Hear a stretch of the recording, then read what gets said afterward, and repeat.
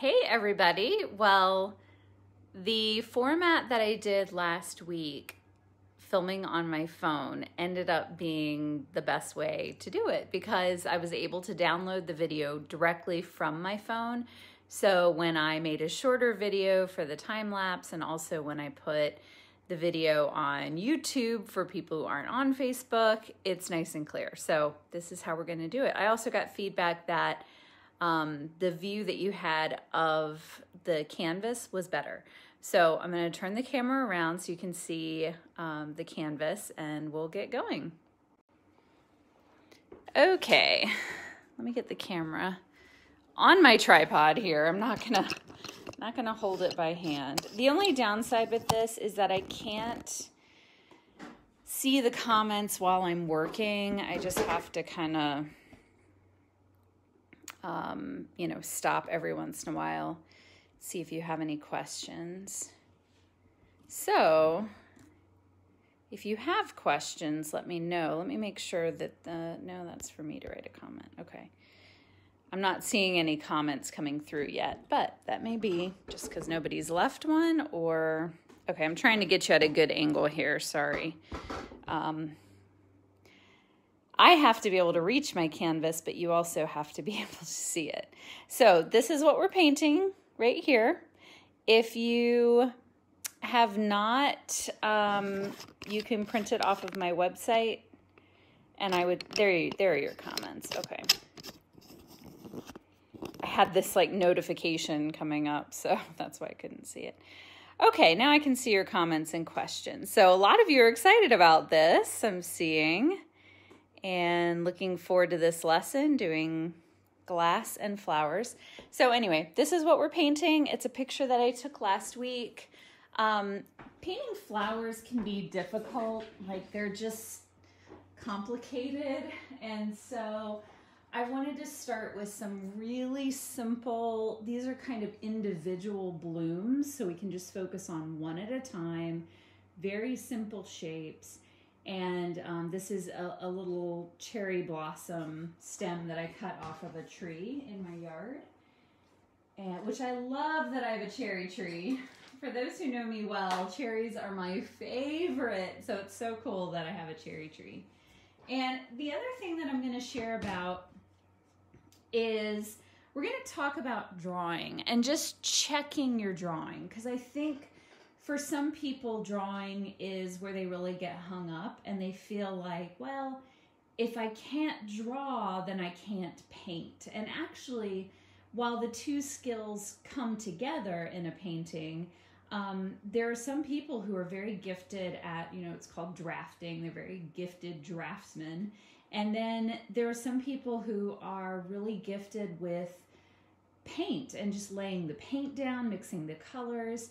And then, of course, the magic combination is when you can do it all together. So we work to improve all of those skills, but um, but I think especially when you're beginning, people can get hung up on having to draw a vase, or especially if we get into drawing faces and animals, that can get really intimidating. So I'm going to show you a trick. Well, there are a few tricks. Um, you know, of course, you can um, measure you can transfer a drawing to a canvas using transfer paper. That's an option. But I'm going to show you a way that we can do it without having to use, with just using what we have, using a picture and our canvas and paint. And um, the other thing is, uh, what was the other thing? Lost my train of thought. Um, oh, the way I paint is called sight-sized. So I'm painting this exactly the same size on my canvas, or I'm going to try to anyway. If it's not exactly the same, it's okay. But generally, that's what I do. So when I'm doing animals or people, I can start to measure. So I can say, all right, the width of my vase is this. So I can start to make some marks. Whoops, I don't have any color on there. But I can start to make some marks of how you know how wide I, I want the vase to be or I can use a measure uh, you know I can use my uh, brush handle to measure things to double check and there's nothing wrong with with doing that as a way to double check your drawing as you go Or there's nothing wrong too with doing um, some tracing in the beginning. I would really encourage you to, to develop your drawing ability, but to do a little bit of um, tracing just to just to get yourself going and over that hurdle and that fear of drawing. So I'm starting out toning our canvas the way we do pretty much every week. I'm mixing ultramarine blue with burnt sienna and a little bit of Gamsol or solvents, turpentine, whatever it is that you're using. I'm using my bushy brush and I'm gonna go ahead and cover the canvas with this loosely. And the cool thing about this technique, so you can't, for those of you who are working with gouache or acrylics, this is not going to work for that, but this works with oils, and it's one reason why I really like oils. Um, it also may, may not work if you're using um, paper that you've just gessoed on or if you're painting directly onto paper. So if you're doing that scenario, that's okay. This isn't the main point of this lesson. I just want to give you guys an option that I think will help you get over some of the fear of drawing. It helps knowing that like okay, I'm I'm going to do it and I can double check myself. Or I just don't want to deal with drawing because I feel really intimidated by that.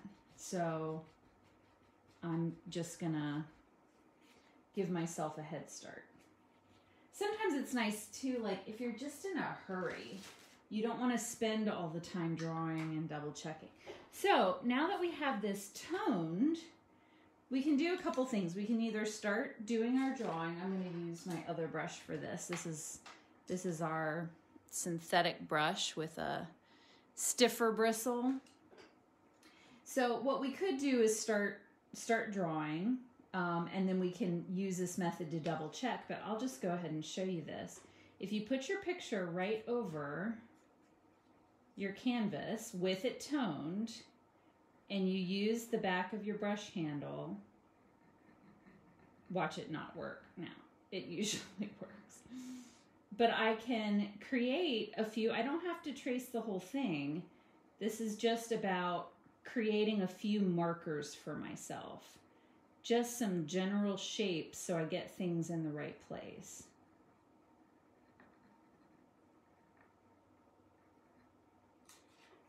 And you see how that, and it, you know, this is still fine. I can use that. It did work. I'm so relieved. But do you see how that now, it just gives me a framework. It doesn't give me all of the detail, but this is so nice when you're doing a face. Um, so what I'll often do, I, I don't start with this. What I'll do is I'll do my drawing and I'll double check with measuring and that so I can work on my drawing ability. And if I feel like the drawing looks off and I've done all the fixing and the fiddling that I can do and I'm still, it still is not looking right, something is off, then I'll take the picture and put it over it and trace just the main markers, the eyes, the nose, and I'll have to share a picture of this on my blog because then what I'm able to see is, oh, the, the curve of the eye is just a little bit off. Um, the line of the chin, mine was just a teeny bit higher than that. And it's amazing with a face, those tiny little differences can make a big deal. It's not a big deal here if our flower is a little higher or lower. Somehow I got yellow on my brush. But it's not a big deal. But when you're dealing with a face or if you're trying to capture the likeness of an animal, it's um, it's really really helpful and i'm seeing a lot of like yay this is great I like that. So this is one reason why I like oils too, because I can kind of make some, you know, some scratches in there. Um, and that's help. This is really helpful too if you're doing buildings, just to get the lines of the building. So we'll go ahead and let's do a little bit of a value drawing on this. So um, like we did last week, we're going to ask what's lighter, what's darker. We're not going to do as detailed of an underpainting as we did, but we're just going to start to get some of these, um, the light and shadow in place. Um, so I'm just looking at where the darker parts. So don't let, I think sometimes painting glass can intimidate people because, um, you know, in our minds, we're so often we're like, oh, I'm drawing glass, I'm drawing glass. Like we kind of psych ourselves out. And it's like, it's just like drawing the pear. We're just to draw what we see. We're just to take it bit by bit. I'm still using ultramarine blue and burnt sienna. I just somehow got a little yellow in there. So now I've got, it's a little more opaque than usual. So we've got this little, um, I did keep this super simple though. We have just a very, I would suggest starting with very simple lines like this, like a little, this is a little Victorian ink bottle. Start with something with really simple lines. We're gonna do, it's almost straight on top. We'll put a little detail in there and then we've got a little bit of a arch there to that bottle.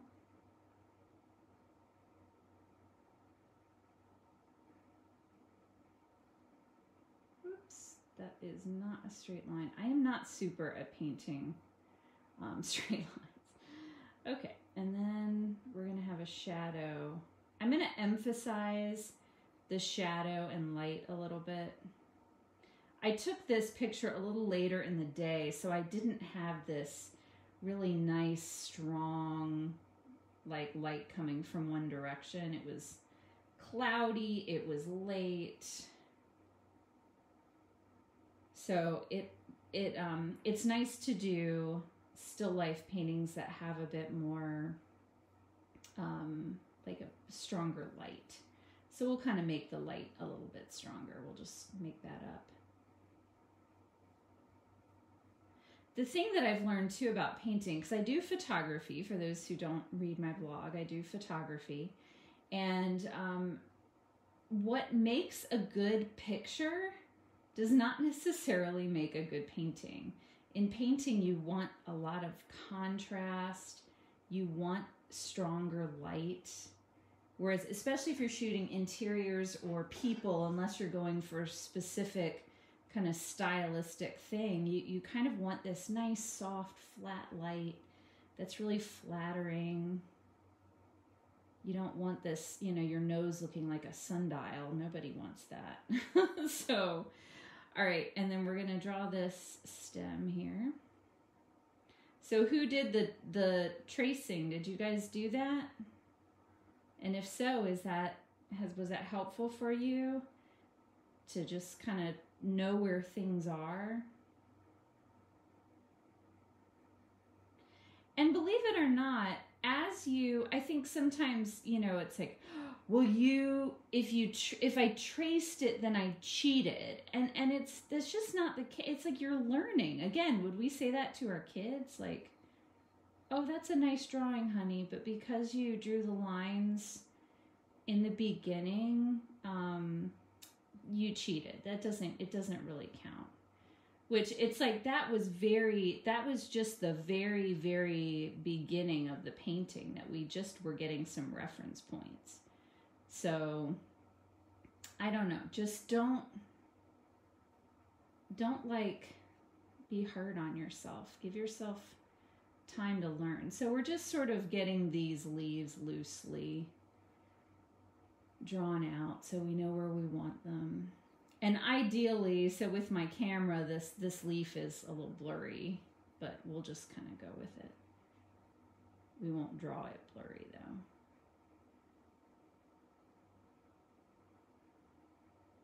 Okay, we've got this, and then little flower here.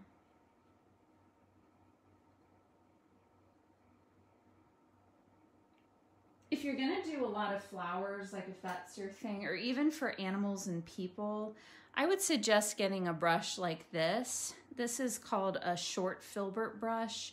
Um, this is also called a cat tongue brush because it's kind of the shape of a cat tongue.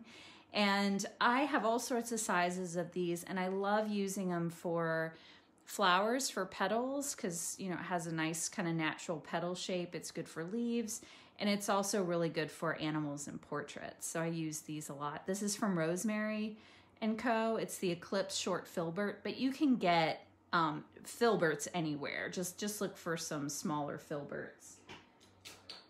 It's a good shape to have. Feel like this is enough to get us started. Before I go any further, I'm gonna grab the camera and just see if there are any questions.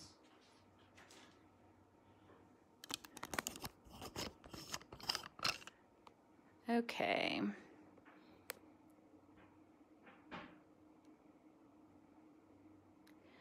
Um, what was the original things you drew from? Is that a photo? So this is a photo that I printed up on my painting. I mean, on my painting, on my printer. Um, this is a photo that I set up and took. So it's my image that you guys have my permission to use. Um, yes, and Carol said a lot of artists do use um, like light boxes or a projector. Um, and, and you can do that. Some people actually draw it and then they use their own measurements to transfer it to a canvas. So there's all kinds of, you know, all kinds of um, methods for doing that. I just like to do it as a double check. And Flynn is asking about, um, or Flan Art is asking about my easel. And yeah, those are weights on the back. This is a counterweight easel so that I can, um, I don't have to turn cranks if I want to raise and lower it. I can just use my hand and push it up and down. Um, and it holds, I mean, holds enormous canvases. Um, I just am painting really small right now, but I bought a an easel that I could grow with. This is the Sienna Studio counterweight easel. And a lot of people have been asking me about easels lately. I would say I knew that painting was something that I really wanted to invest in. So I sold a lot of tiny little paintings for like 10 15 20 dollars. I don't think there was a painting that was more than like 20 or 30 dollars. And i just saved up the money from all of those paintings and i bought this easel as an investment in myself and um, it's probably the only one i'll ever need. So uh, i think it's around $1500 maybe. So if you are you know, you want a bigger easel, but you don't need to quite go that big, then you can, um, I would suggest looking into an H Studio easel, and those are on wheels as well. Those just have knobs and cranks and stuff to adjust, but they're nice and sturdy, and you'll be able to do everything you need with them. Again, I just decided, like, I'm going to take all these little paintings that I'm starting with and selling, and I'm going to save up for a really nice easel that I can grow with. And I'm really glad I bought it. And I love that it's starting to get, I've used it now for about two and a half years and it's starting to get this nice crusty paint patina on it. I love it. Okay, so let's start mixing some colors. So like we did with the pears, we're gonna start with the bottle and the flowers and then we'll do the background. So let's start on the bottle first. So we need to get a nice kind of turquoisey blue. So let's get some, my blue was really, really drippy. Um, so let's get some ultramarine blue and I need to wipe that up so I don't drip it all over myself. Okay, so we'll get ultramarine blue. We'll get a little bit, um, just a teeny bit of burnt sienna to calm the blue down a little bit. Like I've said before, we're using burnt sienna like an orange to tone down blues and like a red to tone down greens. And then we need to add some yellow. So let's try some yellow ochre. Oh, I didn't go over my colors for everybody because I'm just assuming that you all have been with me the whole time. So the colors we're using are ultramarine blue, burnt sienna, cadmium, uh, sorry, yellow ochre. This is yellow ochre pale, cadmium yellow medium, and titanium white. And I've suggested now buying alizarin crimson, which is usually right there, and cadmium red. Um, if you want to do blueberries or strawberries or cherries or really as soon when you get more into people and animals you kind of need some reds also if you want to do flowers i'm going to get some cadmium yellow this color is going to take a little bit of tweaking here we're too green and definitely too dark at this point so let's add more blue just like we did last week with like, is it lighter, is it darker? Um, when we're looking at values, um, you can always ask yourself that about the color. If you're like, okay, this color isn't right. So what is it? Is it too red, too blue, too light, too dark?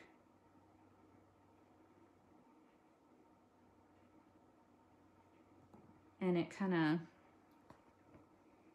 helps you with making decisions. So I'm constantly, when I'm painting, like constantly thinking about that. What does this look like? Is this too light, too dark?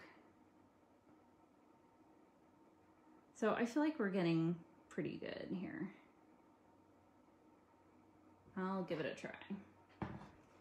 And this will be kind of our base color that we'll use for, we'll keep lightening it for the bottle. So yeah, I'm pretty happy with that. Okay, so we're gonna do the um, shadows of the bottle first.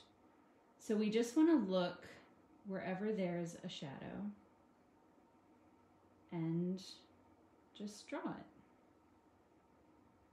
And I know it's like, yeah, easier said than done when I went to, um, you know, it. I want to say it was when I went to one of the museums in Paris. I think in um, the Musée d'Orsay, where the Impressionist stuff are, or Impressionist works are. I, I was thinking it was there, but I think it was um, in a book that I bought there on the Impressionists, and Monet said like when he people would ask him like how to paint he's like, well, you just, you know, I just look at what's what color is there and I see oh, oh that color's there so I just put that color there. I just put a little spot of color there and then I just look at the next spot and put another spot of color there whatever color I see it's like yeah if it was that easy okay so I'm just look just putting anywhere I see a shadow the top is a little rough. And we may, we'll see how this looks. The, the great thing again is we can go back and if we decide, oh, we need it a little darker here, we can always do that. But we're gonna try to keep this pretty simple. So I'm gonna lighten this color that I have up a little bit more and um, to paint the water because the water is a little darker well, the water that's um, not really the water, I guess, it's the background. With glass, you're, you're painting what is through the glass. And this is just to be kind of our first and we'll adjust it. This is just getting the color down. The corner is lighter, so I'm to leave the corner alone. And we've got, this is kind of a textured bottle. So we don't have a nice clean line. Sometimes in water you do have clean lines. Also what you have is water distorts items. So it can sometimes like the stem looks is coming in here and then the stem appears over there in the water. Like when you have more of a, a glass that's rounded, you'll get that more. This, this bottle has straight sides.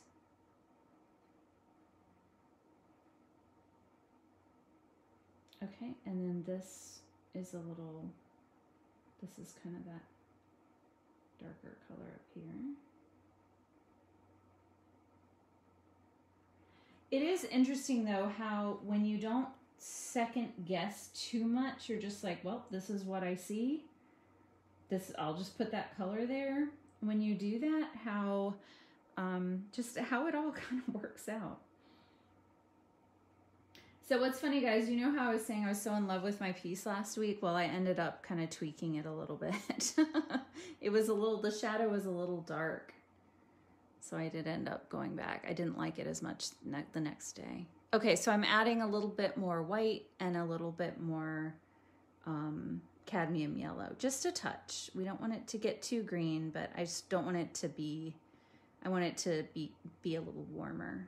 So this is gonna be for our lighter colors of the bottle.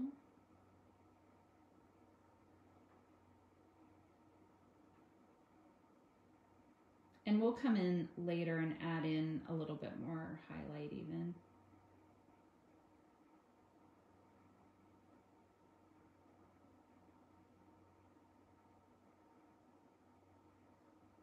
bottles i feel like especially when you're painting them like this or glasses i feel like those are the kind of things that you always feel like this is going to be a bit of a mess and then when you step back and kind of look at it that helps a lot to step away from your work and look at it step out of the room for a minute get a glass of water do something and then come back to it and be like oh i see what's wrong or i see what i need to do kind of gives you some clarity.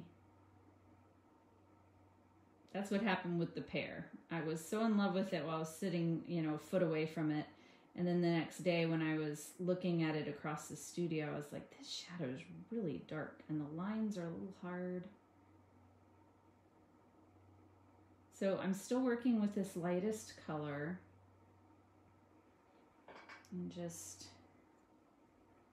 I think I'm gonna put this here because we've got this is where we have a little bit of an angle.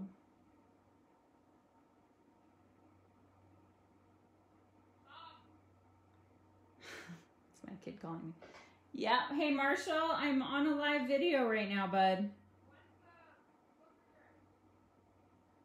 Hey Marshall, I can't. Um, Dad's gonna take you to the book return at 3:30.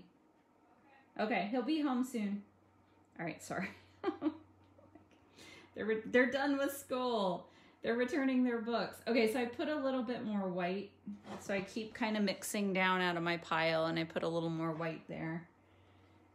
And we we're not going all the way white. We're just uh, you know, going a little lighter and I'm just to keep adding in some of the lighter colors. You don't want to get too light too fast. If you go to your purest white, then you don't have anything anywhere to go. You always want to save that for the very last thing.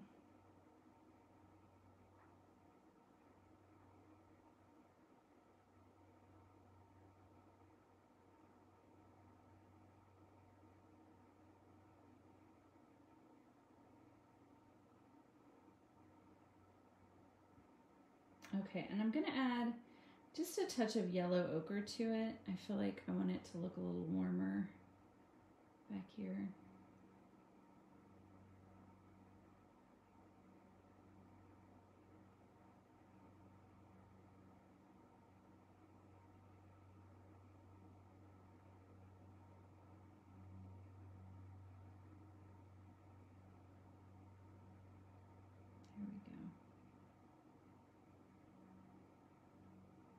We've grown to that place now where I can just be comfortable being quiet.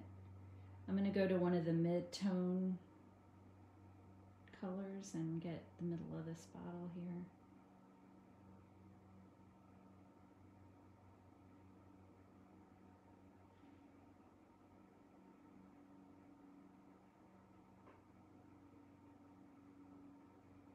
And then it gets maybe a little darker right here.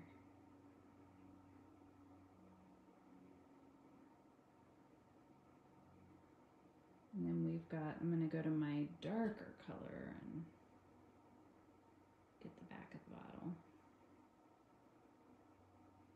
Mm, kind of just fix a few things here. We're not, now this bottle does have some drops on it. And if you're someone who, there's some artists who they really like they just love the details all the every little detail of things and i am not one of those people i do not like all the details i just want to that's why impressionist painting kind of fits me. I like the imp you know, okay, I'll draw the impression of a bottle. I'm not going to draw every tiny little detail. So I'm getting a little my paint just a little bit darker. I want this line here to be a little darker, the line of the water.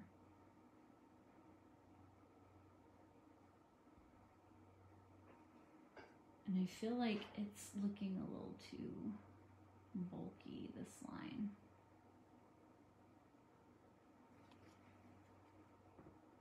Need to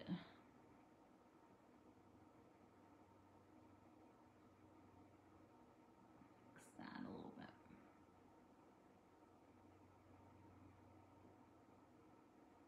And I can see already, I, I'm gonna need to go back and add a bit of a darker color. It's that's not getting quite dark enough. So I'm gonna make a little pile off here, off to the side. And with more ultramarine blue and burnt sienna to make it darker.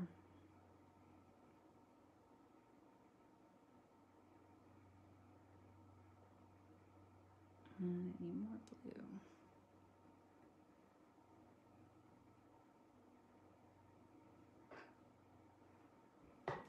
Okay, it's gonna help. The other color we're gonna go back and try to get is where the light is really reflecting off the edge of the bottle. You've got this really nice, um, like a brighter turquoise, so we'll go try to get that. And to get some of these more defined edges, I'm kind of hanging my finger off the side.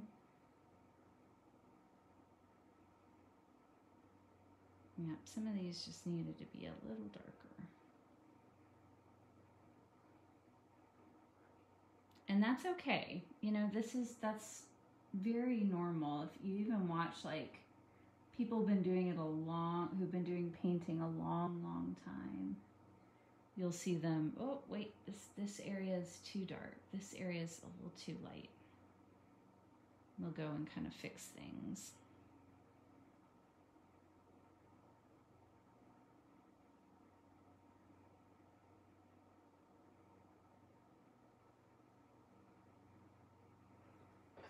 Okay, so to get that bright color, I'm going to work off of our little pile here with a little more cadmium yellow, a little more blue try to, I actually might start with a new pile with ultramarine blue, cadmium yellow,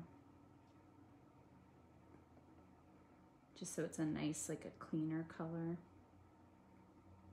We want more blue, and we get some white.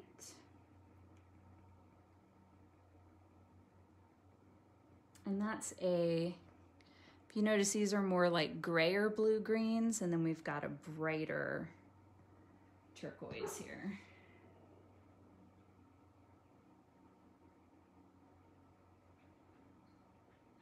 And maybe even a little whiter.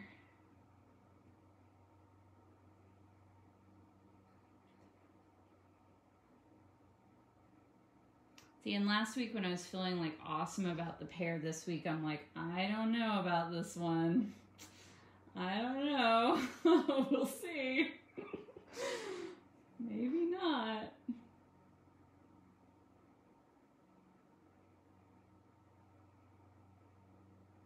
Feels a little out of my comfort zone.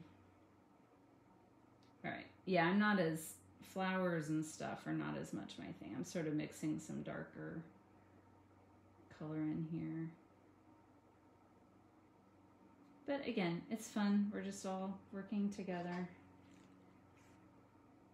all learning, always growing.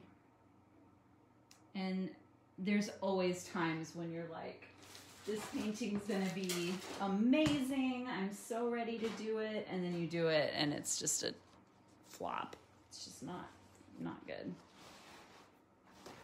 Okay, let's work on the flowers. And so I'm gonna get, for the leaves, I'm gonna get ultramarine blue cadmium yellow. And we're gonna get more cadmium yellow we want these leaves to be. These are kind of a nice bright green. I'm gonna put just a teeny itty bitty touch of burnt sienna in there just to tone that green down a little bit. And I'm gonna keep this as my dark green and come in and get the dark green part of the leaf.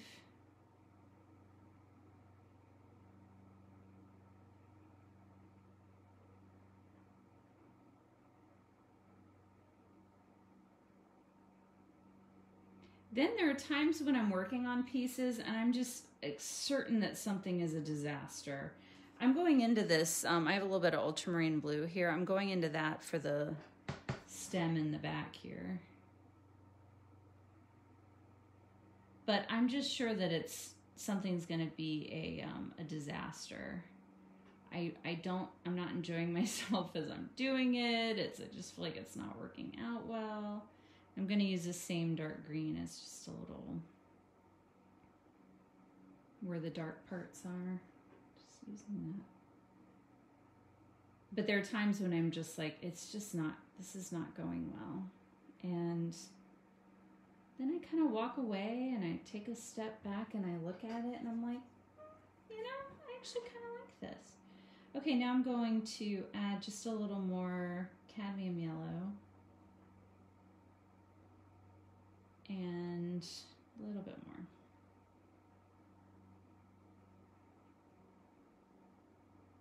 And I'm just going to brush in the direction of the leaf. And we've got kind of two leaves here, I think, but I'm to just kind of combine them into one. I think it'll just be a little cleaner. We'll add a little brighter highlight to that. And then we got to go brighter, a little more cadmium yellow. Gonna start adding a little bit of white, just a little white, like this. When you start adding too much white to green, it starts to kind of, especially for living things, it just starts to, I don't know, it kind of, it just doesn't look right. I, I don't even know why that is, but. Okay, and then we've got, we'll make this our brightest leaf. I'm gonna add a little more cadmium yellow and a little more white.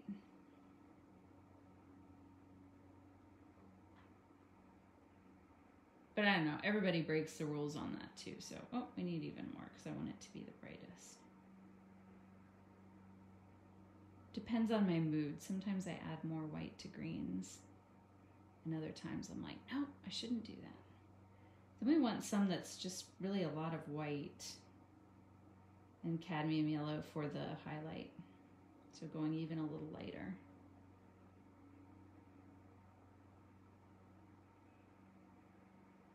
This leaf is sort of at an angle, so we've got to let that be at an angle. And then we've got a little highlight back there. Oops, got too much paint on my brush.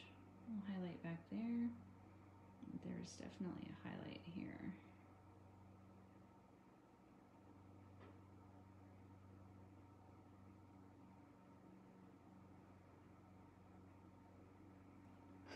And then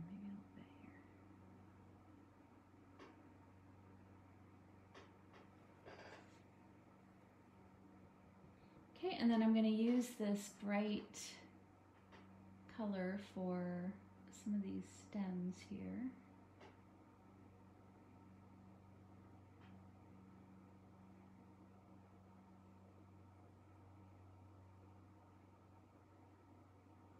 You can see how when you do like a whole bouquet, how all of this can get kind of overwhelming all of the stems and all the blossoms and stuff. I um, I don't do a lot of bouquets.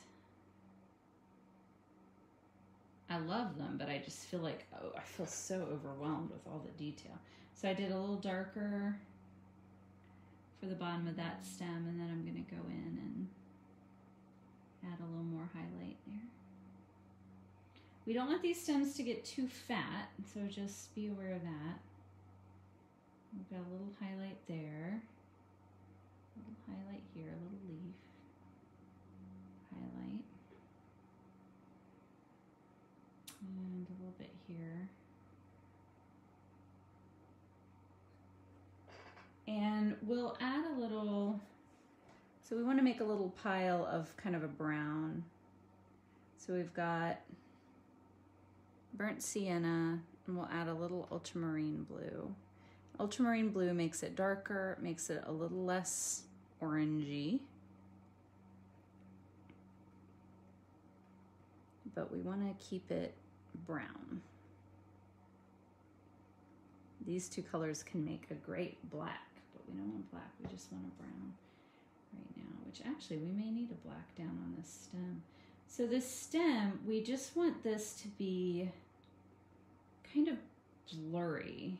We don't want it to be this nice defined stem because it's in water.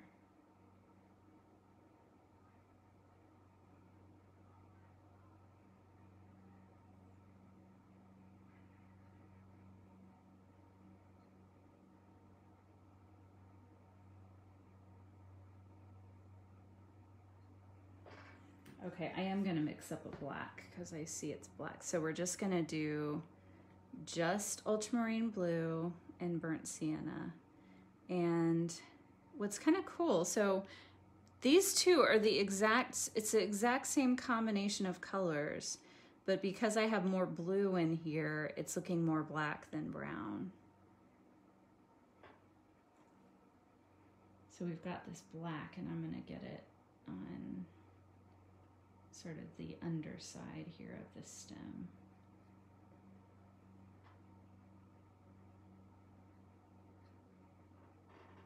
We almost have like this little shadow kind of coming off of it.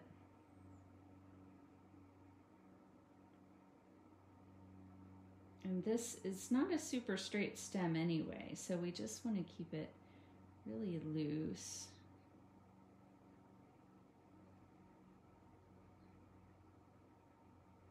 We'll add a little, add a little darker back there.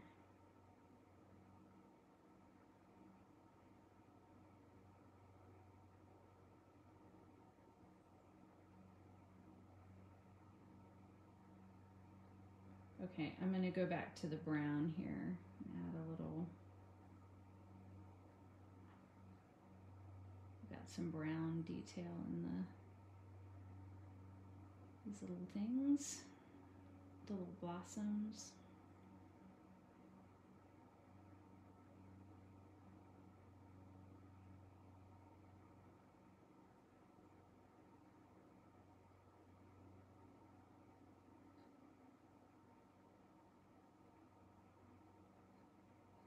And again, we don't need to paint every little like tiny detail. We're just, it's just giving the impression of these blossoms.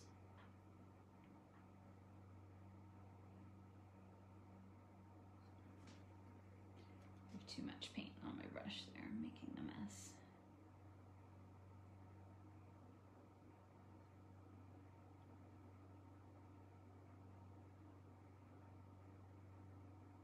Okay, and the other question we have to ask ourselves is where do we see the stem sort of break up? and we really don't see it. It kind of disappears a little bit um, right here. So we're going to let that break.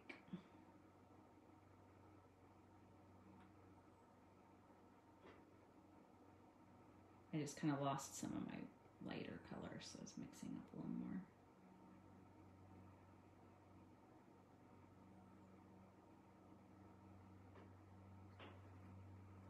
And then this got just a little, my stem got a little, so if your stem gets a little carried away, just use your watercolor,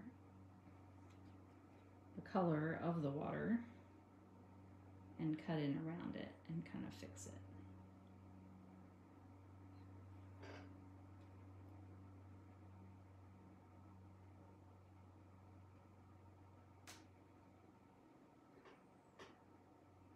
And I feel like I was trying to draw this little like nub that's coming off and I feel like it got a little like the stem got just a little too big.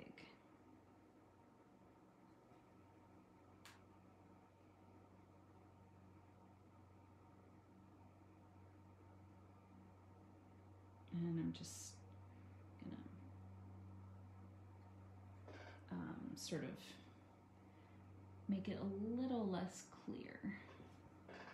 Okay, there we go.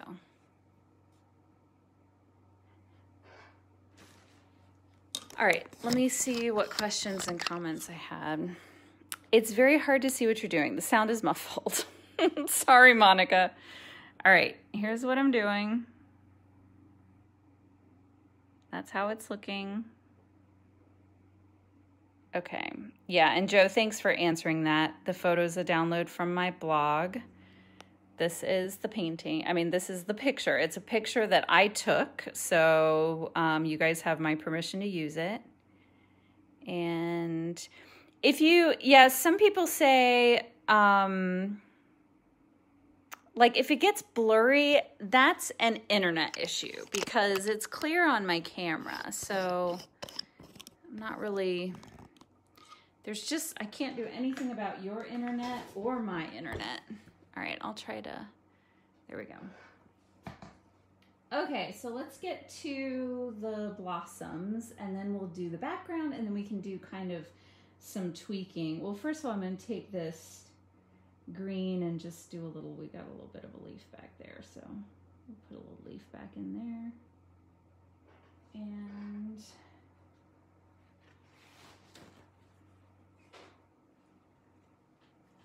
Like to add um, just a little bit more of, just a little bit of um, burnt sienna with white, mixed with white, just for a little more warmth in some of these little um, buds.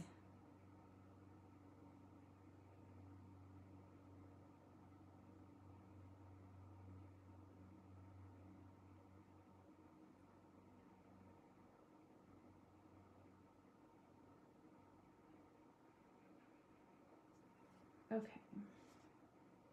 Even a little bit in the stem. We'll add in the, the highlights of the stem. Those are almost a gray.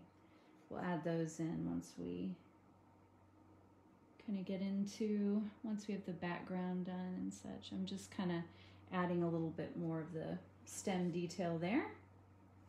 And so let's do the blossoms. So I want to start with, we can start with kind of this dark bottle color here and I'm just gonna move it over and add in some white. Sort of get a nice, like a neutral gray kind of color. I'm looking at kind of how this color relates to the others on the palette. I want it to be a little lighter. And I'm gonna grab just a teeny touch of yellow ochre. So it's a little warmer. So we've got a nice kind of warm, neutral light gray. And then, so the tendency again is to always paint white flowers white. We reach for the white. But we need to start with, now I'm kind of making stuff up here a little bit. Um, because we've, I think we have one that doesn't have a blossom. And so I'm using a little bit of even that dark bottle color to make a little bit of a darker gray since this flower is kind of behind. So I'm making out like we have two buds back here. And in our picture, we really only have one. And I'll bring that forward a little bit more as we get lighter. Okay, so we've got this little partial petal there, got a petal there. So we're gonna do all of these in kind of a gray, and then we'll add a white detail. That's how we can show, you know, which petals are further away, which ones are closer.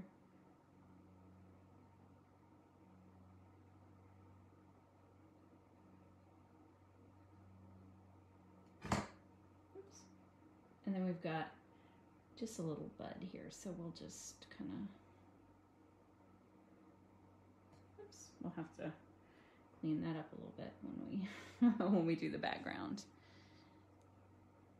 Okay, so um, I think I'm gonna wait to add the white until we add the background. So I'm gonna start with this dark bottle color here and start doing the background.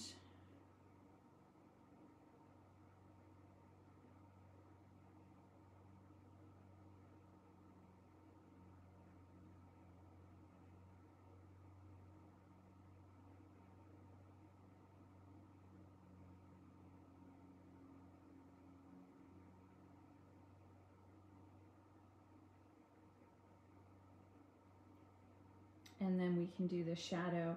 Now the thing about bottles that you see a lot of is the, the um, light, um, I guess the shadows are heavier towards the edges and lighter in the middle.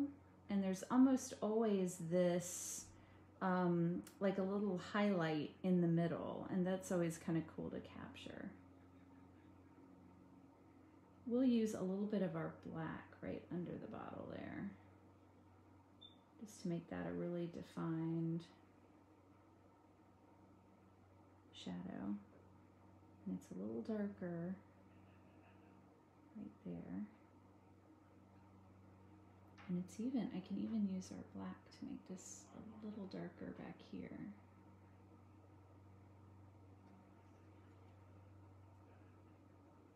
Okay, then we're gonna go we're going to kind of lighten this color up a little bit.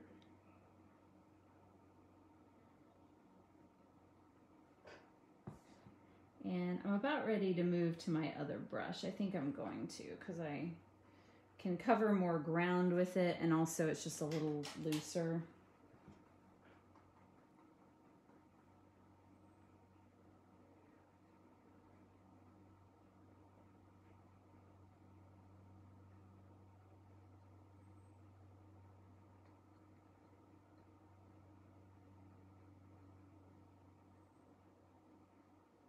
and I'm just sort of, I'm not going over this to apply more paint. I'm going over it to move the paint around until it's how I want it. I'm going to add a little more white and just a touch of yellow ochre pale and go in here around the bottle because it's lighter here and we are kind of losing that.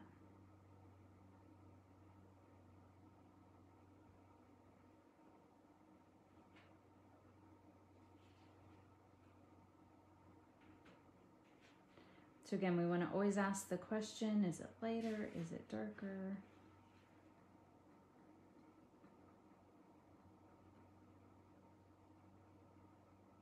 And I sort of want I like how the light falls across here and we've got a nice pool of light back here.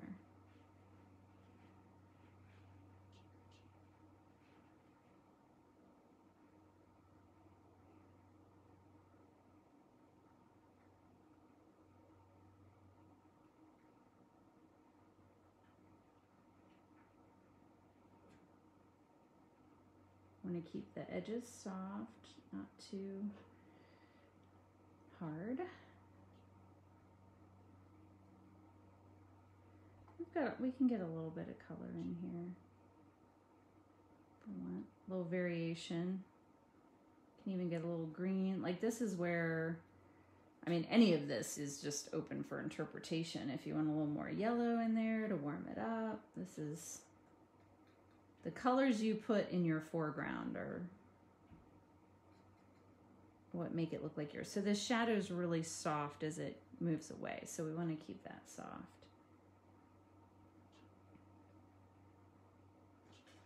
And we're going to go a little bit darker for the shadow. I'm just mixing in that the white with that darker color.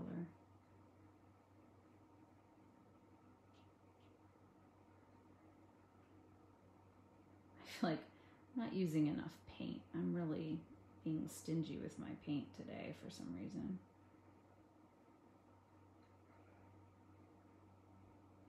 There are times when I'm like, I don't need to mix up anymore. I can just use what I have. okay, I'm gonna switch back to my other brush so I have just a little bit more control. Um, that brush is feeling a little big. I don't want this line to be quite so harsh.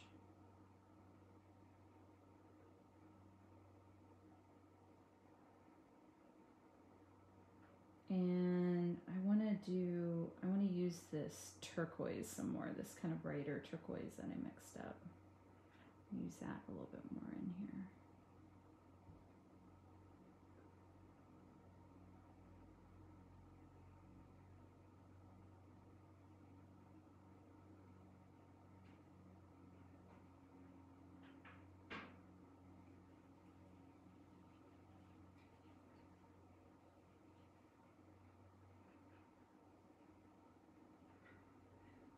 And I'm going go to my black and add just a little bit.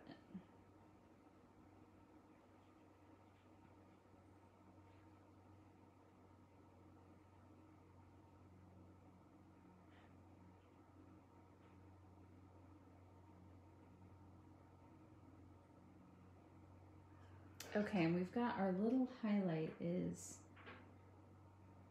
up in the front here. So I'm going to use some titanium white and just a little bit of the colors that I already have mixed. I may even need, to, we'll see how defined I need to make it, but I've got kind of a little light pile here. I want to make it nice and white. Then I'm going to add a teeny bit of cadmium yellow. That's a little much, so I'll add a little more white. And we'll put a little, this little highlight right there.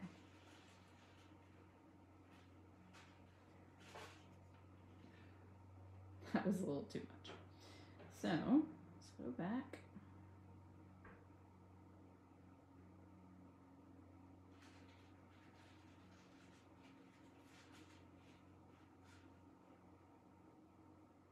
The reason why you see artists paint glass a lot is because there are just so many fun nuances with the way light goes through it. So I'm adding a few more little highlights here with that highlight color, just some white, a little bit of the bottle color, a little bit of cadmium yellow. I don't know what my family is doing out there. I'm hearing like whistling and popping. Everybody's home still.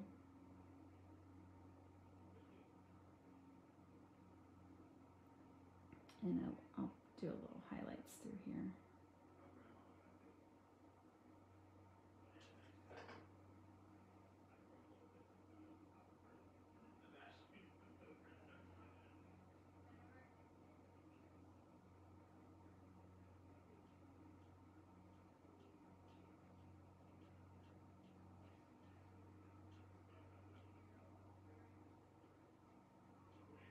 Okay, and I'm gonna go in with my black mixed a little bit with the darker bottle color and I wanna make this color match what's behind it just a little bit better.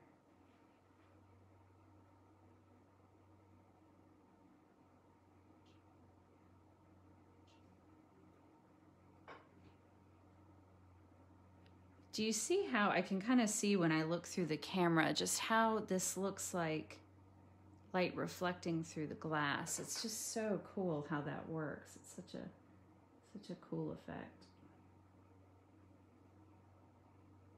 Just loosening up this line a little bit.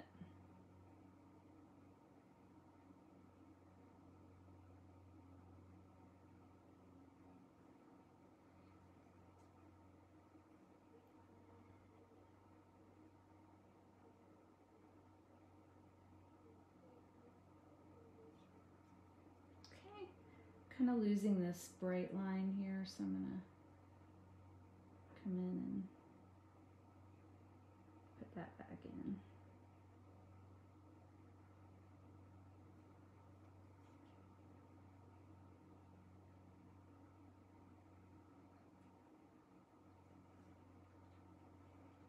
And then I'm going to go in with my black and kind of make this, oops, I need more paint. This is, Marion, use your paint. Put a little more paint on your palette. I don't know why I'm doing that. I have plenty of paint. There are times when I'm like, oh, I don't want to. Sorry, I was just hitting the tripod. If you're like, it's vibrating, that was me. I don't know why I do it. There are times when I just don't like I just am being really stingy with my paint. And if you're not quite getting enough paint, you know, like if you feel like I'm trying to put paint down and I'm just pulling it back up again, it's you just don't have enough paint. You need to mix up more paint.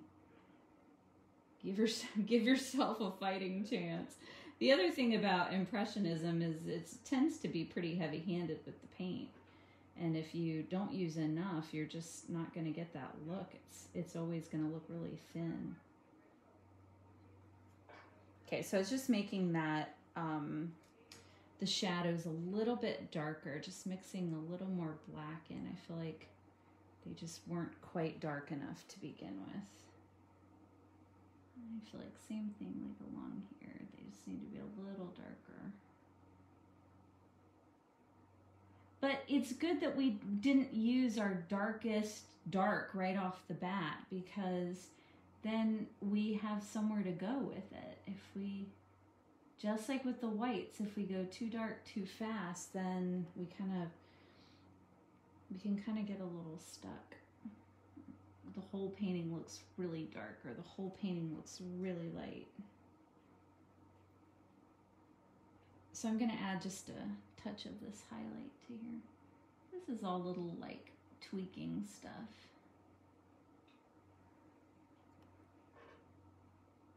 And we'll add a couple of really bright highlights to the bottle too. I'm to go back in with uh, just a little more black. I keep mixing, again, I keep mixing up piles. It's like just Get what you need.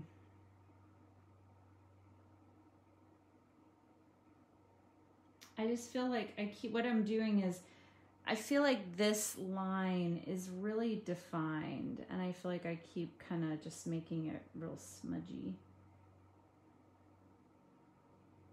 And part of the thing about lines is you want some lines to be really clear and some to be to be blurry. If they're all blurry or all clear, it's um, kind of takes some interest away, I think.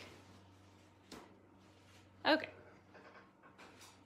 So let's do the background and we'll see how it's all looking. So we just need a nice neutral gray. So I'll even use this black pile and grab some of my, my dirty white and we'll just start mixing up a pile. Now that's gonna be too dark.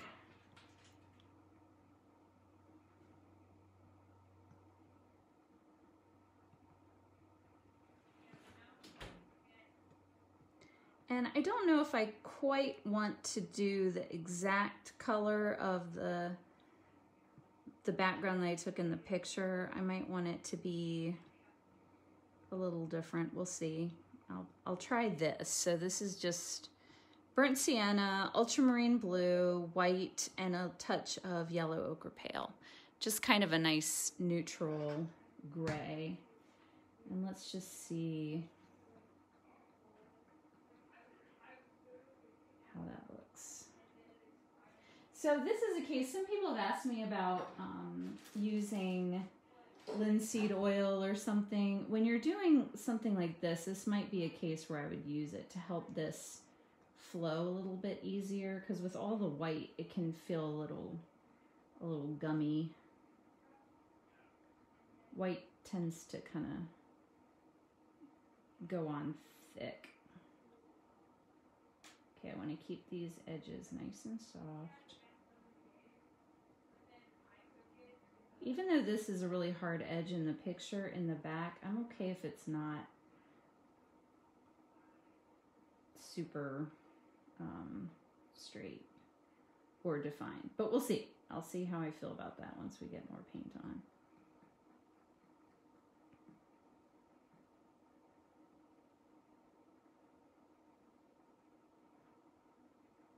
And I'm just sort of filling in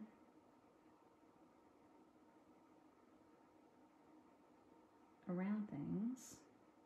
Some people, their style is to keep this brown, you know, the the underpainting showing like almost like that where their their edges don't even meet. They just let the the underpainting show. I tend to cover most of it, let it show through here and there, but I'll make my edges meet.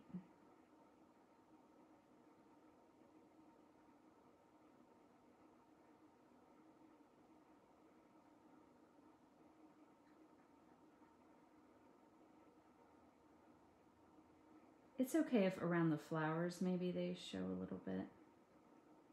This color is really close to what we mixed for the flowers, so we're gonna have to see if we kind of lose them or if that's okay. This is also where you can sort of clean up your stems if you want to.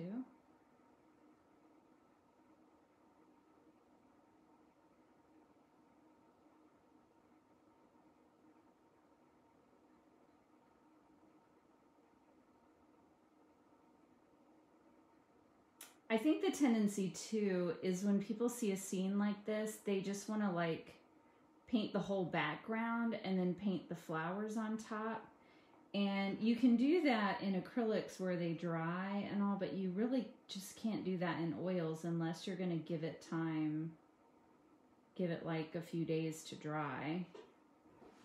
I'm going to keep some texture in this background. I think that's kind of interesting.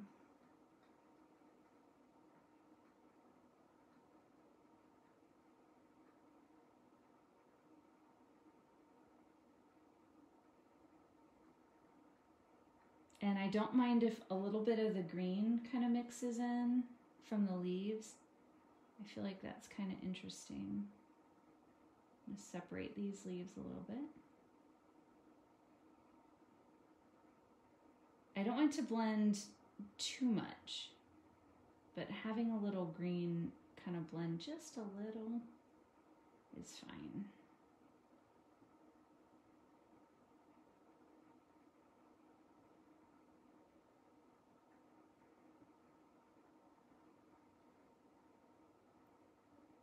How's everybody doing? Everybody painting? I know some of you just watch, like you do other things, or you just want to watch and then you'll paint later. Because either you've got kids, it's distracting. I just keep adding a little bit more white to the pile. Um, it just kind of continues to shift the color a little bit.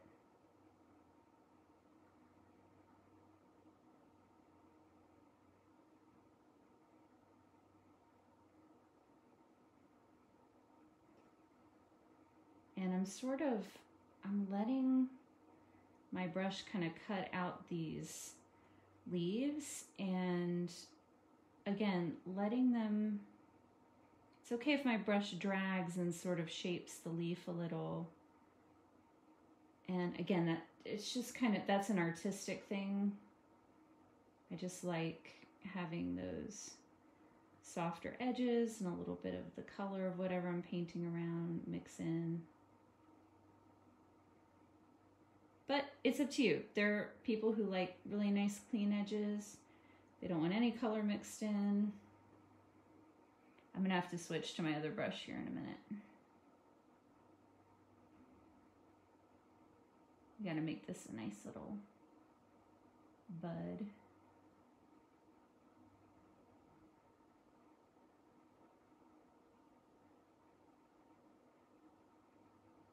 Now I know this color looks really white but it's it's really not. I have this value chart that I made. This is total black, total white, and then I mixed um, and I measured it all out and everything to mix so that I had these clear um, values. And when you look at our background, it's really more in this range. When we think when we see it, we're like, "Oh, it's white." It's it's actually not. This is white.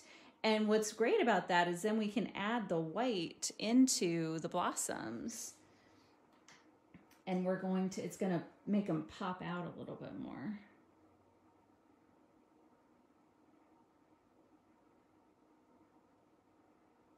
I made the, the value chart similar to if you watched our color chart lesson, sort of that way, but I, it was a bit more methodical because I was really trying to make sure I had clear values. I want to keep that real loose stem.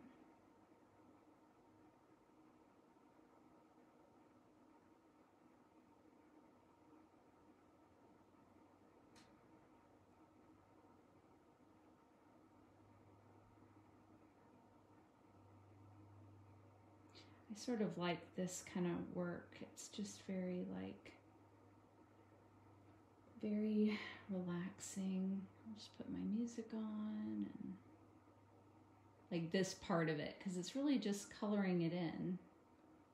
And then I can just make little artistic decisions about my edges and okay, so I'm going to switch to my other brush here. Oh, and some people have asked, I do paint the edges. I do that last.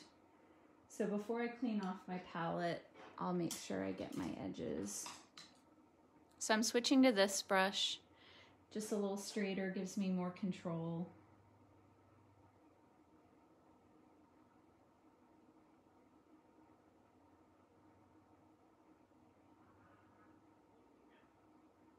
I just want to make sure I don't get too tight with it. That's that's my problem. When I start doing this, I'm like, okay, relax.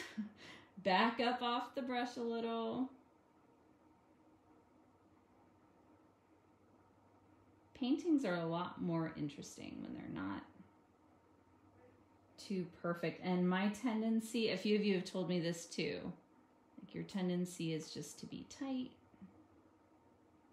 And like I tend to be tidy and tight. So I've got to remind myself just like relax, take a deep breath, relax your shoulders, back up off the brush.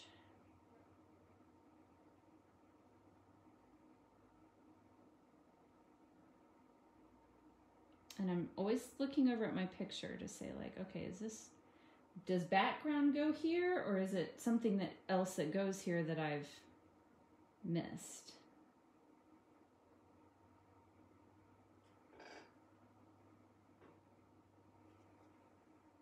Okay, I think I got all the background now. All right, let me um let me show you guys a little bit of a closer look and then we'll come in with all the finishing details and I'll look at questions here. All right. Let me go back.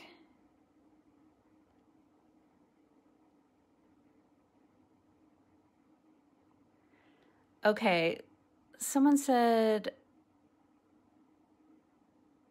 all right, hold on. Okay, so Joe shares a book that she bought that was really helpful. What's the best way to learn how to mix colors? So, Tracy, I would tell you to do the color chart lesson if you didn't. Um, that is, I think, the best way to learn about mixing colors is to actually mix colors. Um, books, there are some books that can be really helpful guides, but it definitely can't replace just mixing your own colors because even just even just ultramarine blue, for example, there's French ultramarine blue, there's ultramarine blue green shade. Every brand has a slightly different ultramarine blue. Some of them lean a little more purple, some lean a little more green, and that can make a tremendous difference when you're mixing your colors. So if somebody says the way you get this color is with you know, two parts ultramarine blue and one part burnt sienna, if you're not using the same colors, it might be it might be difficult. So um, mixing your own paints is always the best way. So Susan says, I think my paints may be too old. I notice how yours flow. You don't have to scrub the paint on, but you have a very light touch. So yeah, if your your paints might be too thick or stiff, if you feel like you're fighting your paint, then by all means go ahead and mix in some linseed oil or some um, other medium that's going to thin it out. Elaine, this is oil. Um, so Joe said she uses um, Gamblin solvent-free gel that it helps um, the paint flow well. I just I found that if I use really high quality paints, I just very rarely have to mix in um, any kind of solvents. I do have, so I use Gamsol in the beginning to thin things down. And then I do have a little bottle of linseed oil. Whoops, you can't see it. There we go. I have a little bottle of linseed oil that I'll use. I'll pour it into a little cup. And I'll use that if I need to thin it out, especially with whites, if it's getting thick. And then I have this custom oil medium and I this is my favorite. This is I got it out of Carol Marine's book called Daily Painting and it's a mix of linseed oil, stand oil, which is just a thicker linseed oil, and um, Gamsol. And it's a great mix. I like it better than just um, plain old linseed oil. So I'll use that if I need to. And I didn't use it just because I didn't have my cups. So I just, you know, this paint is pretty thick here this because it's got a lot of white in it. But the rest of my colors have been pretty easy to work with. So if, if you're kind of fighting your paints, then add, just add a little more linseed oil and that's fine. Even if I don't, you can add it. Um, ever be willing to teach a class using a silver pitcher or a gravy boat? I tell you what, I'd have to practice it first.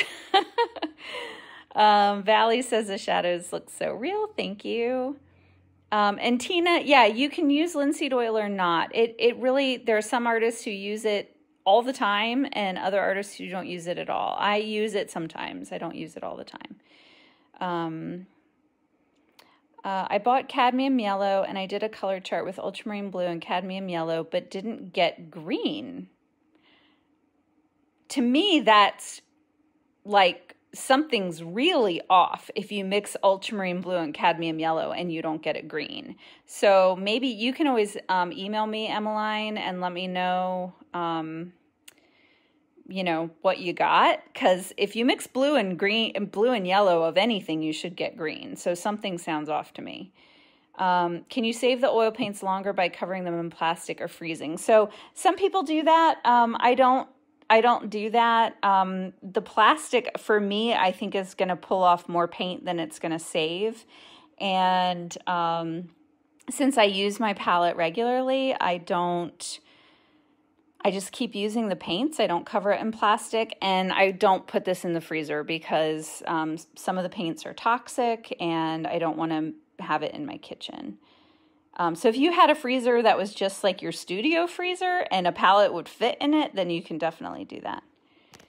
Um, let me show you a little bit of a closer look so you can see all my texture.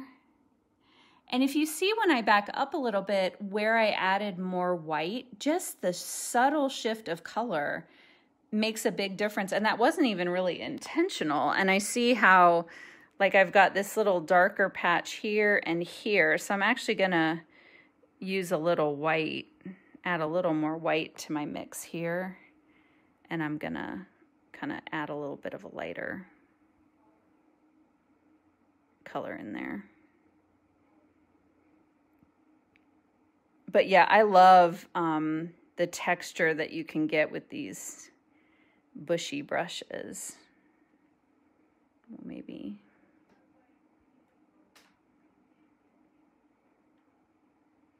Okay. All right, I think I got all the comments, so let's do some finishing details here. I am feeling better about this. I'll tell you guys, in the beginning, I was really not feeling great about this.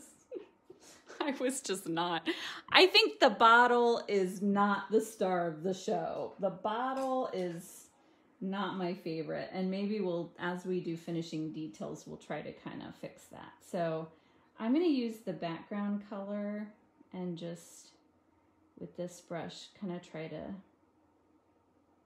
adjust that stem a little bit more.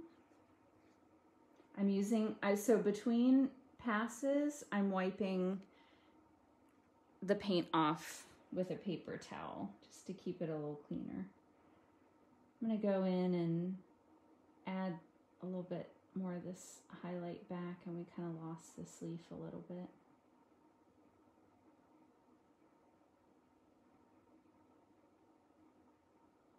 And then I'm going to go in with my darker leaf color back here.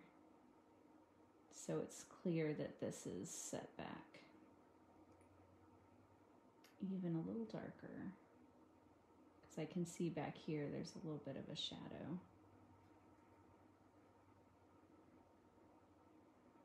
And then this is a highlight.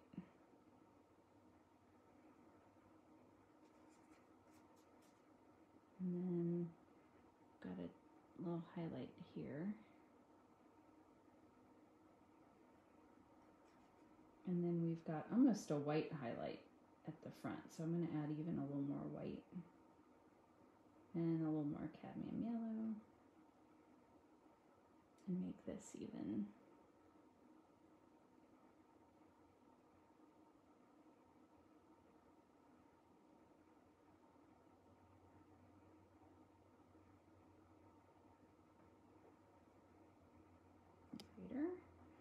Then I'm coming in with a little bit of that brown I had and kind of fixing up these stems a little bit. We've kind of lost some of these details.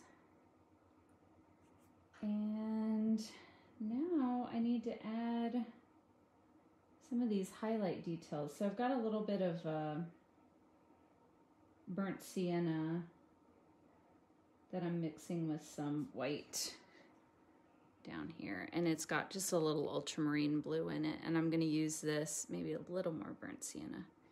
Use this as a little bit of a highlight on the edge of the bud.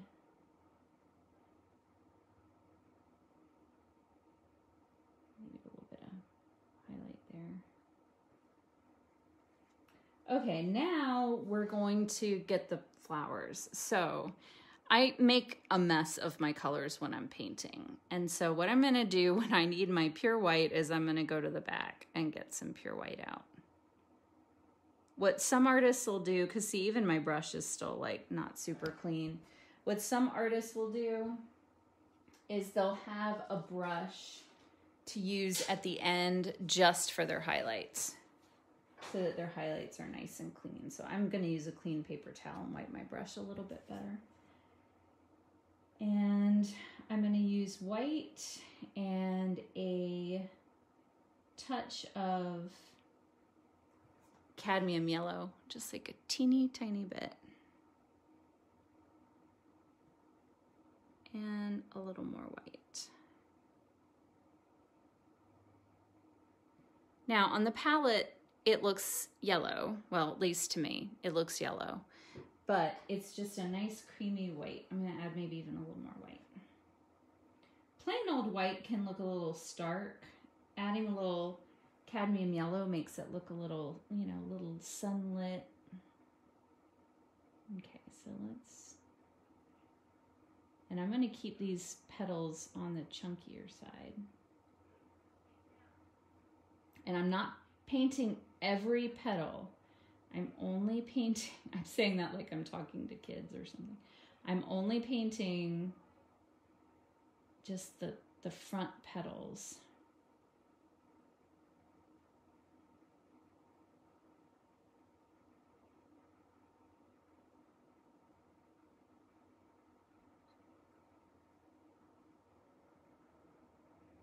And I'm trying to put it on pretty thick.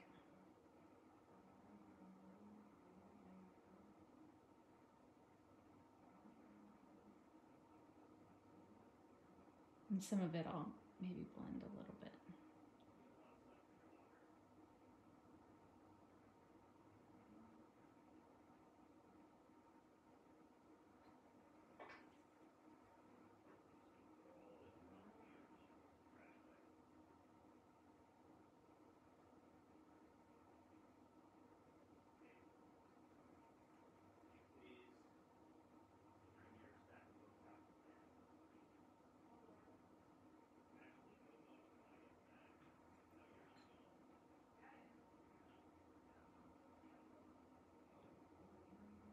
So I'm just kind of working on it as it looks good to me. I'm I don't know. Maybe we'll put a couple of these little.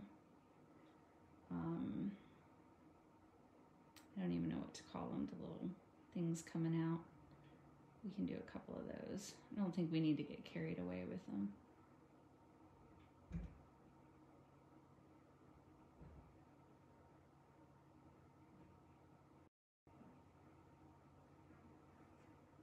And we'll put just a teeny bit right there. I'm not gonna worry, really, I might put maybe a touch of white back here. We want this to kind of be in shadow though. This little blossom back here.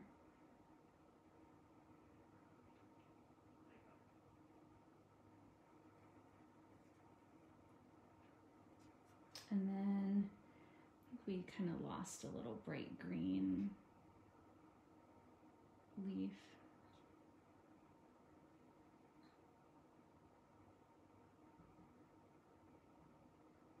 But kind of these leaves that go back.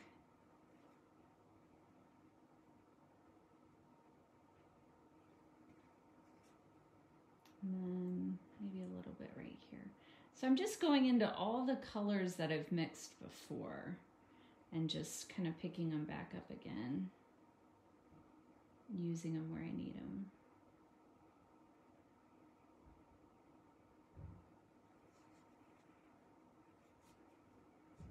And I'm going to get the kind of brown and shape this up a little bit more.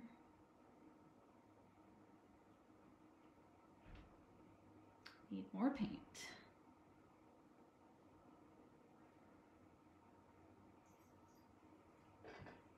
And I need to mix up a little more black.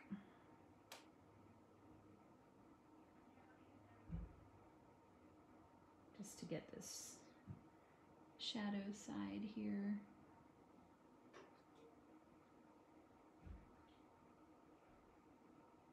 And a little bit of definition there, but that's a little, I've got to come back in with the background color here and kind of shape that up.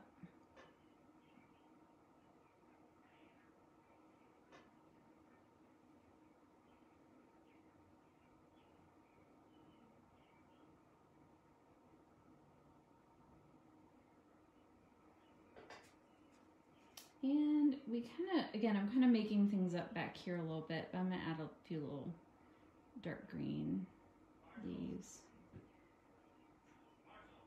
Maybe add a little, my family's getting ready to go to the book thing. so I feel like this little bud here, I just can't get it right. I'm trying to get like that little bulb part of it.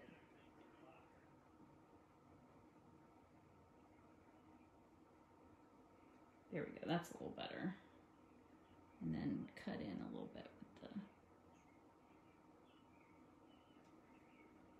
background color.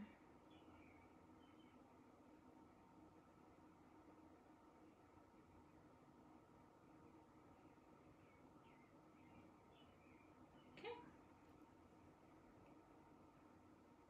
Gonna put a little more paint around there.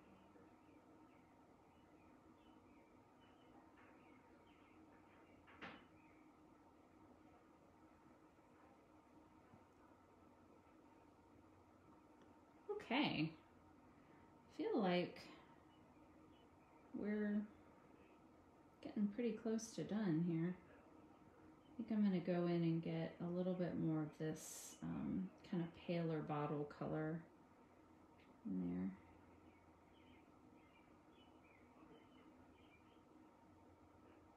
We need to add a few highlights to our bottle. That's one thinking we need to do.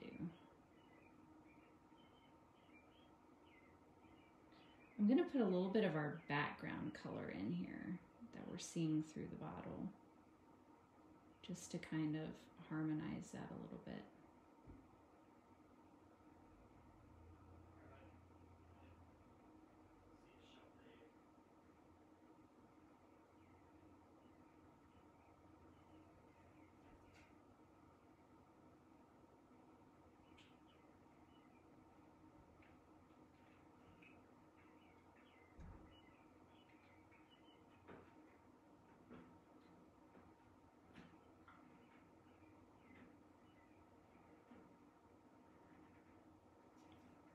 The other thing I'm trying to look at is where the bottle starts to get a little thinner.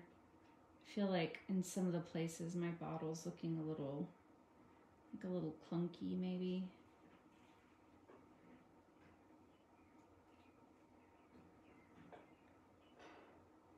And then um, we've got to add some highlights. So I'm gonna go back, you know, get some nice clean white. Go back to where my highlights are. And I want um, this to be more white, a little less yellow. So I'm adding more white to my highlight pile. And we'll get some bottle highlights in here.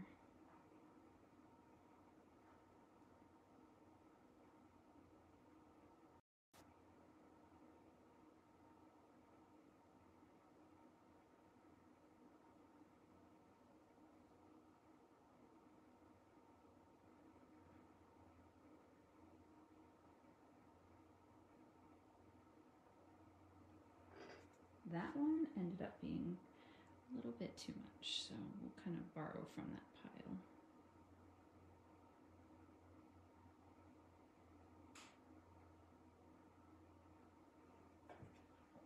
All right. Maybe have a little bit of, a little bit more of one down here.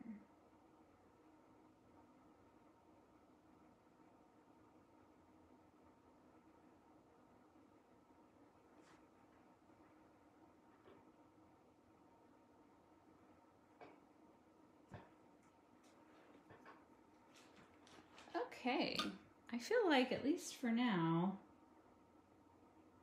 who knows when I look at it tomorrow, how I'll feel about it. But there we go.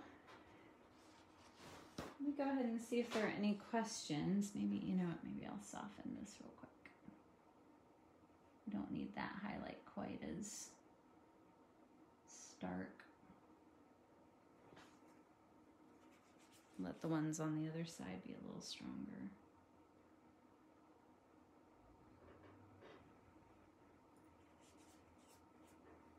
And then I might just put in a little more color.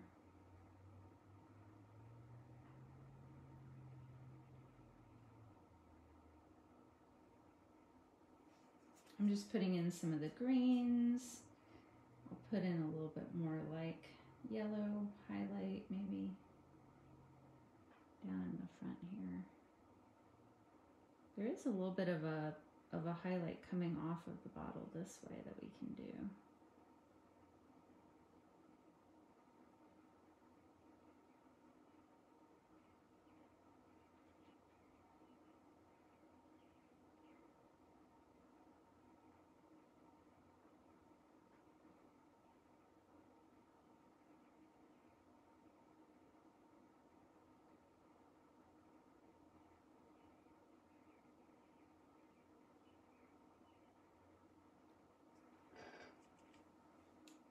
And then I'm gonna just soften it up a little bit with this brush here. There we go. I like that. It added a little, just a little bit. And do you see in the picture how we have just a teeny highlight coming off here? So we kind of got that. Okay.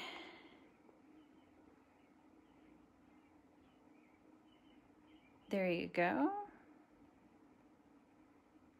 I'm scrolling back through to look. Yeah, and Linda, I think I already answered this question, but um, yeah, this is a picture that I took that I'm painting, and it's a picture I took so you have permission to, you know, to use it royalty free. Um, I realized the edge of this bottle here, I kind of lost that. Doesn't need to be super detailed, but we want the bottle to have an edge there.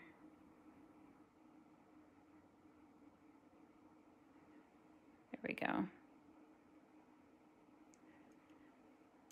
Um, okay, let me see what other questions. Somebody said no sound. Can you guys hear me? Oops. There's my face really close. There we go. Okay. All right. Um, yeah, I'm using my cell phone. So when I turn my phone, oh, yeah, I think if I turn my face away a little bit, maybe you couldn't hear as well. So sorry for that. I think also sometimes I was kind of being a little zen. So I was not um, talking loud. Okay. And you guys are saying, yes, you can hear me. All right. So as always, I will show this painting um, a close up on my blog so that you guys can see it uh, better. And sometimes it's easier to paint off of a painting. So if painting off the picture is hard for you, you can print up my painting and paint off the painting. Um, but there we go. There's kind of a side by side of the um, inspiration picture and then my interpretation of it. And um, yeah, ultimately it turned out, I'm pretty happy with how it turned out. I'll have to wait and see how I feel about it tomorrow.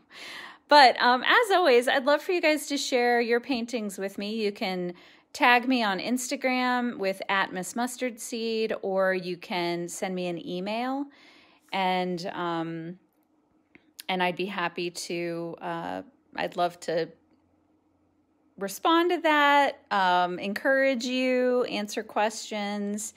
And if you share on your stories or on your grid and tag me, then I'll share it with my audience as well and give you some encouragement. Um, I think next week I'm going to go ahead and take the week off. I know for a lot of you too, like where school's ending, a lot of people now, the stay at home orders are being lifted and people are going back to work. And um, I have a lot of big projects coming up. So I have to kind of look at my schedule and balance out what I can do, what I can continue to do. So I'm thinking I'll take next week off and then kind of plan for what we can do next. So we'll keep doing painting classes. Um, we may do them something like every other week or once a month. Um, but what I would like to do after this is start moving into um, maybe I know some people have said they'd like to do some more landscapes, like focusing on trees and some other things. We can also um, work on animals and um, portraits. So, those are some things that I think are, are coming up. But we'll take next week off. If you missed any of the videos, you can go back and watch them on my blog. You can watch them on my Facebook page or on YouTube. And um, and of course, all the details and stuff are on my blog as well. So the next time we have a class, I'll definitely share. Just look on my blog or on Instagram, and um, I'll be sharing the details there. So thanks a lot, everybody. I look forward to seeing how your paintings turned out. Make sure you sign them. I'll I'll do that real quick, um, just to show because people ask. I use a rubber brush and I scratch out my signature. There we go. And that's what I do to sign my paintings. And then I'm gonna, before I clean things up, I'm gonna paint the edges um, with my leftover paint here. And then I'll move my leftover paint over to my leftover paint pile and I'll, which my ultramarine blue is running into it. But I'll just keep using these colors um, just when whenever they work for me, which for this, I may have used those for the backdrop and stuff, just mixed them all together. But um, I wanted to start with clean colors for you guys so that you knew what I was mixing. So, all right, everybody, thanks very much and have a great weekend.